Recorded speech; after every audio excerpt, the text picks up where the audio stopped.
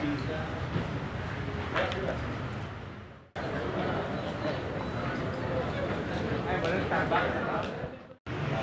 nanti ya. Anjir banyak bolong-bolong. Banyak bolong-bolong. Banyak bolong anjir. Anjir mah bolong-bolong, Pak.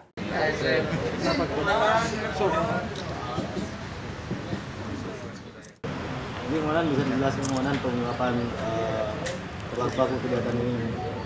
Baik, nah, sesuai perintah operasi dari Pak Kapolda untuk melaksanakan operasi Libas Lodaya 2019 jajaran Polrestabes Bandung baik Satreskrim Polrestabes maupun unit Reskrim yang ada di jajaran Polsek-Polsek wilayah hukum Polrestabes Bandung melaksanakan kegiatan operasi Libas terhitung tanggal 22 sampai dengan 31 Agustus 2019. Namun karena perlu pengembangan sehingga eh, pelaksanaan kegiatan untuk pengungkapan kasus eh, waktunya bertambah dan hari ini kita laksanakan ekspos terhadap hasil operasi Libas Lodaya 2019 jajaran Polrestabes Bandung. Adapun hasil yang dicapai, kalau TO yang kita sampaikan itu ada tujuh kasus, namun kasus yang berhasil diungkap sebanyak 31 kasus. Yaitu pelakunya ada sekitar 42 orang, dan antara 42 orang itu ada 8 residivis.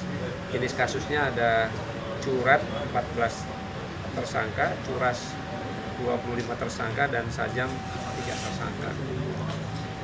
Kebanyakan daripada modus operandi mereka melaksanakan kejahatan antara lain adalah perampasan, jambret 18 kasus, penodongan menggunakan sajam 3 kasus, pengusakan kunci 8 kasus dan penganiayaan 2 kasus.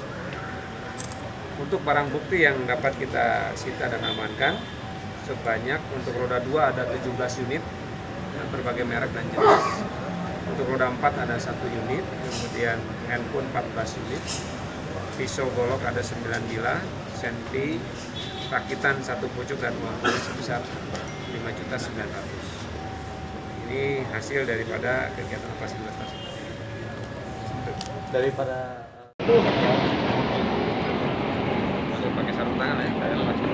Enak? Enak. Enak. gimana Coba pakai. Nah.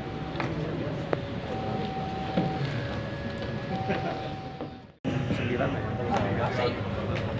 siangnya aku